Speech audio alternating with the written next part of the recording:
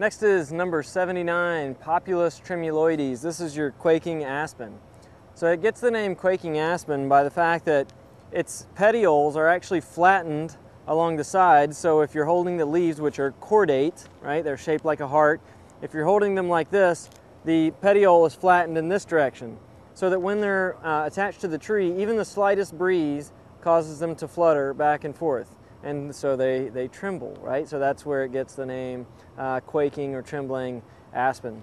This tree has a huge, huge distribution over lots of uh, the uh, United States, so pretty ubiquitous um, over large areas. Um, very adaptable, uh, very, very cold hardy. Uh, so again, it, it, will grow in most places uh, in the United States. So that uh, should be a very easy way to tell uh, uh, trembling aspen or quaking aspen. Cordate leaves, it does have a yellow fall color that's not especially attractive, but whole forest of, of this yellow is not bad. Cordate leaves and this flattened petiole are dead giveaways for, for trembling aspen.